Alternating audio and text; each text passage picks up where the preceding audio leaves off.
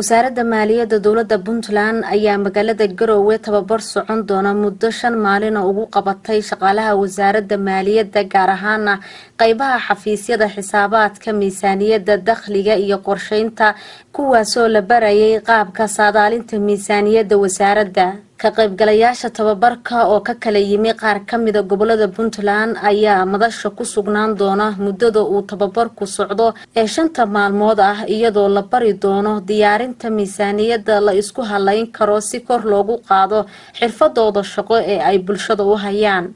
Waxaana tababarka goobjoog ka ahaa wasiir ku-xigeenka wasaaradda maaliyadda puntland agaasimaha guud iyo qeybaha madaxwaaxeedyada wasaaradda agaasimaha waaxda qorsheynta wasaaradda maaliyadda puntland cabdulqaadir cali ismaaciil iyo agaasimaha waaxda miisaaniyadda cabdisamed cawad cismaan ayaa ugu horeyn ka warbixiyey ajandaha tababarka. Shaqaalaha wasaaradda maaliyadda qeybaheeda miisaaniyadda xisaabaadka dakhliga iyo qorsheynta waxaa isleena waa tababar wakti ku habboon qabtay loona baahan yahay mar walba in shaqaalaha wasaaradda aqoontooda iyo tayadooda kor loo qaado tababarkan oo ku saabsan waxa weeye forecasting. Waxa la yidhaahdo ama sidii loo diyaarin lahaa macnaha loo sameyn lahaa miisaaniyad la isku halayn karo. Dadkaan ka soo qaybgalay tababarka waa dadkii ugu xulsanaa oo ka tirsanaa waaxaha. Waa waxa weeye dadkii lafdhabarta u ahaa shaqada wasaaradda maaliyadda. Waxaan rajaynayaa tababarkan inuu ka soo baxo. Wax waxa weeye wasaaraddu iyo dhammaan dowladda puntland ay ku aflaxdo agaasimaha guud ee wasaaradda maaliyadda puntland cabdirasaaq maxamed xasan ayaa sheegay in miisaaniyadda puntland ay soo martay marxalado badan balse hadda ay la tartami karto miisaaniyadaha adduunka iyadoo la tayeynayo xirfadaha shaqaalaha wasaaradda maaliyadda. Tababarkan halkan saaka isugu timaadeen wuxuu ku saabsan yahay miisaaniyadda sacdaalinta miisaaniyadda.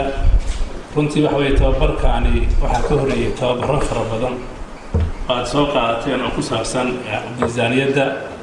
Waana la socotaan miisaaniyaddeena waxay soo martay marxalado kala duwan bay soo martay. Hadda meesha ay marayso laba kun iyo sideed iyo tobanka waxa weeye waxay la jaan kartaa miisaaniyadaha ka jira caalamka waana la habeeyey. Maanta waxa weeye waa hagaajinta miisaaniyadda dowladda puntland weye tababarkaani qaybta saadaalinta